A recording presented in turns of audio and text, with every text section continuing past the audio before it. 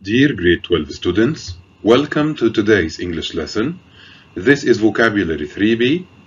Let's get started.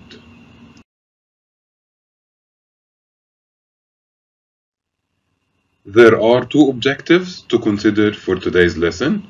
The first one has to do with identifying the meaning of eight compound nouns, while the second one has to do with matching eight idioms to their definitions.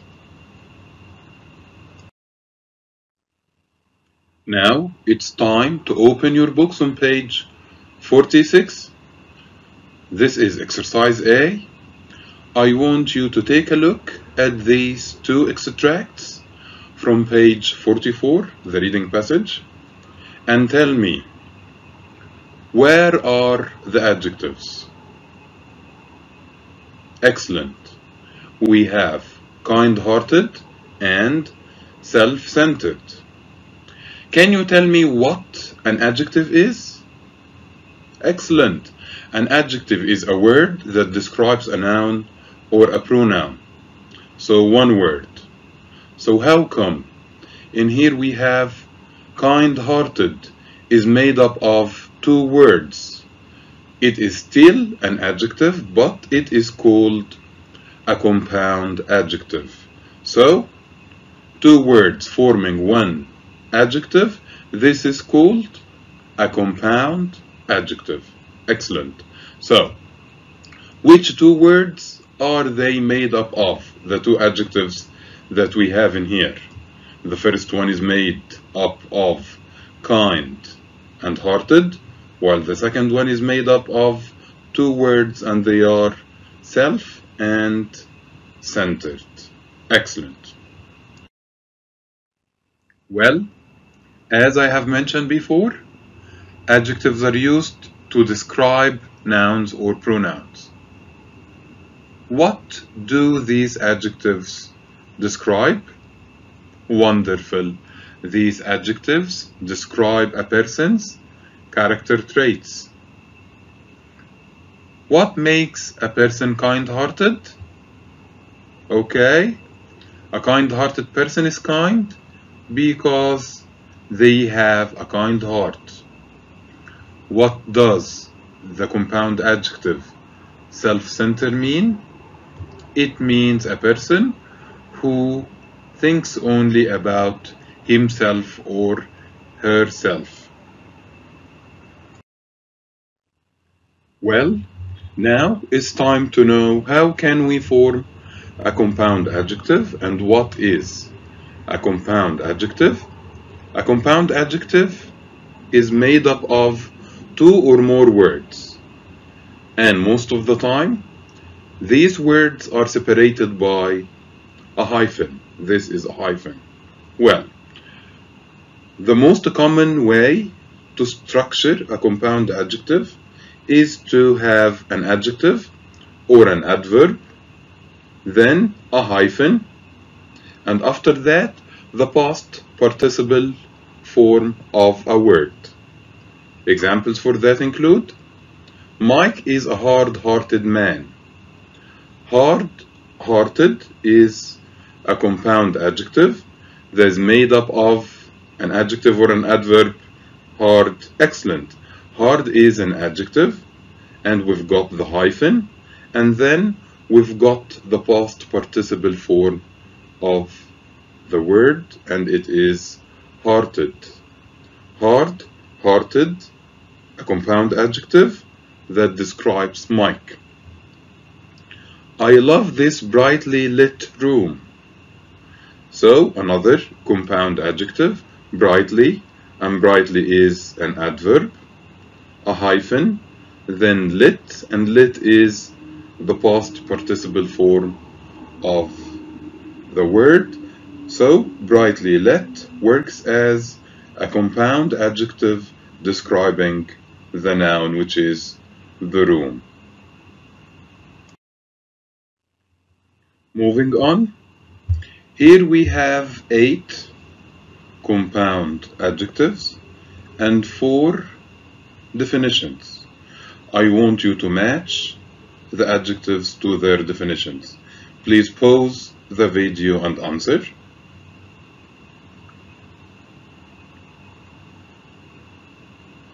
Well, if someone is behaving in a pleasant and polite way, they have good manners. This is excellent. This is well mannered.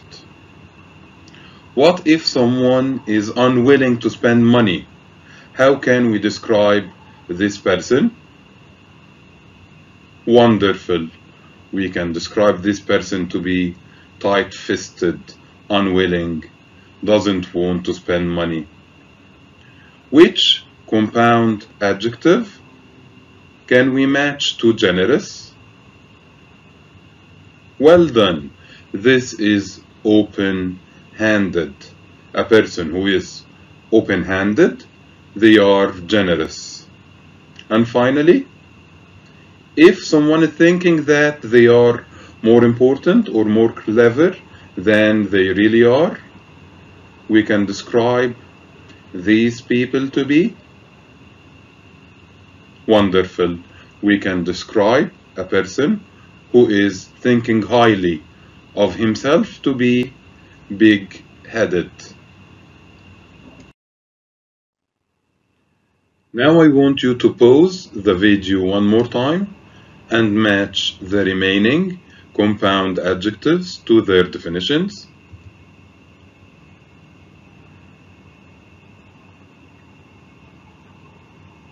Well, a person who becomes angry easily can be described to be excellent. We can describe a person who becomes angry easily to be bad tempered. Moving on. If someone is not willing to accept ideas that are different from their own, this person is wonderful. This person is narrow minded. Someone who often forgets things and doesn't pay attention to what is happening around them, this person is absent minded. And finally, if someone is willing to consider ideas, someone who wants to think about other people's ideas and opinions, this person is best described to be open minded. Great job.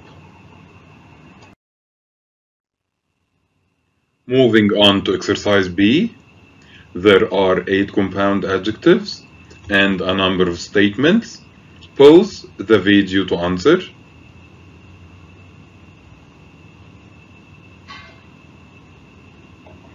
Well, if someone accepts other people's opinions, we can describe this person to be, yes, open-minded. Frank is a young man and he never raises his voice. So Frank is super. He is well-mannered. And in here, someone is giving money to this or that charity. So he is giving money to different charities. We can describe this person to be open-handed, a generous person. Lisa is always forgetting what she's told. So Lisa is, yes, Lisa is absent-minded. We are still working on exercise B. Fill in the sentences using the appropriate compound nouns. Pause the video to answer.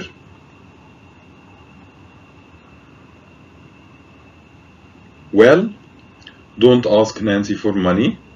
She will definitely not give you any. So Nancy is not willing to give money. She is, yes, she is tight-fisted. My brother thinks he is more important than everyone else. And that makes my brother excellent, big-headed. Stay away from Greg today. He can be very, when he's tired, some people, when they are tired, they tend to be bad tempered. They can get angry easily. And finally, people who are and don't accept any new ideas. How can we describe people who don't accept any new ideas? Wonderful. They are narrow-minded. I want you to tell me what can you see in this picture? Okay, we can see cats and dogs and rain. And the sentence goes like, it is raining cats and dogs. But do we have that situation in which we've got cats and dogs falling off the skies? This is not happening. So, raining cats and dogs is an expression. It is an idiom. That means it is raining heavily. So, what is an idiom? An idiom is a group of words like this that go in a fixed order and have a particular meaning that's different from the meaning of each word on its own. So, it is raining cats and dogs. We don't have cats, we don't have dogs. It means it's raining heavily. Moving on to exercise C, we've got some sentences and there is an idiom in each of these sentences. What you're supposed to do is match each idiom to its definition. Please pause the video and answer.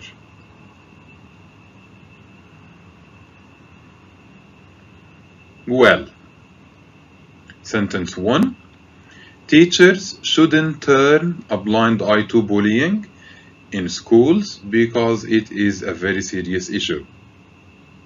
So teachers shouldn't, yes, excellent. Teachers shouldn't ignore. Moving on, Paul got cold feet and didn't go swimming with the sharks as he had planned. So what happened to Paul? Wonderful. Paul became nervous and decided not to take part in that dangerous situation, which is swimming with the sharks. So, if somebody gets cold feet, it means they become nervous.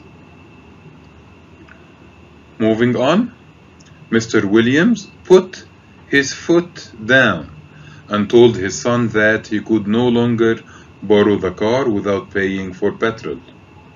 So, Mr. Williams decided to, yes, he decided to express his decision strongly.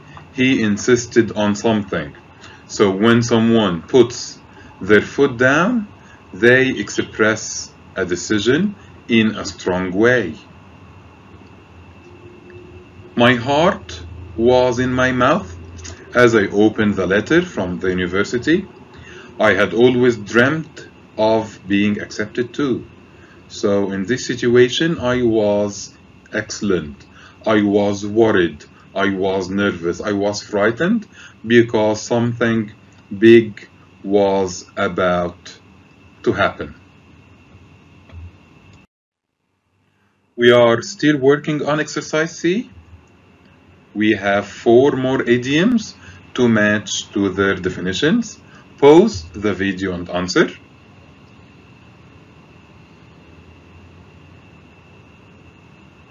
Well, parents need to be able to keep their head even when things at home get rough. So parents are expected to, yes, they are expected to be calm in difficult situations. Mike and I don't always see eye to eye, but we manage to get along. Wonderful. If you see eye to eye with someone, it means you agree with them. Stop sticking your nose into other people's personal lives. Why do you care where they were yesterday? So if someone is sticking their nose, it means, yes, it means they're trying to get involved in something that is none of their business. And finally, you shouldn't have said that. You really need to learn to hold your tongue. And this is best matched to be. So if somebody is to hold their tongue, it means to say nothing even though you want to. Well, now we've got this picture and what is this person doing?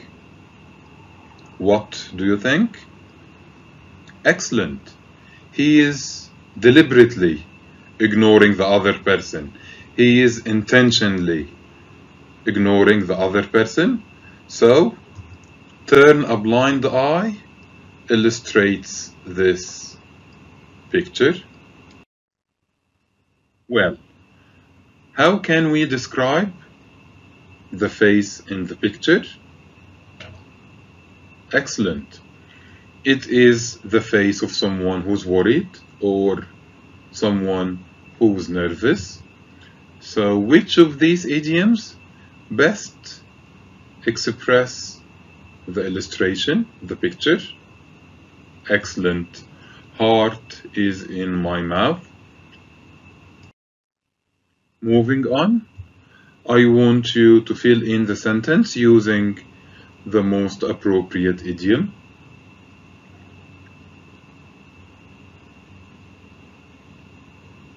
Okay, the sentence goes like, My sisters don't with me about the arrangements. They have a completely different opinion. So, they don't agree with me. So, what do you think? Excellent.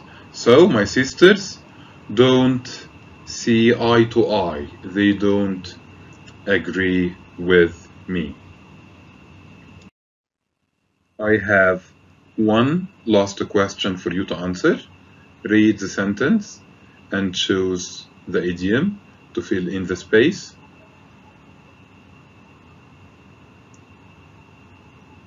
Well, the sentence goes, although she was under pressure, she and went on to win the race. So she was under pressure, but she managed to, yes, keep her head. She was able to keep calm and win the race. This is the end of today's vocabulary lesson. Thanks for watching and remember, this video will always be available on Microsoft Teams for you to watch at any time.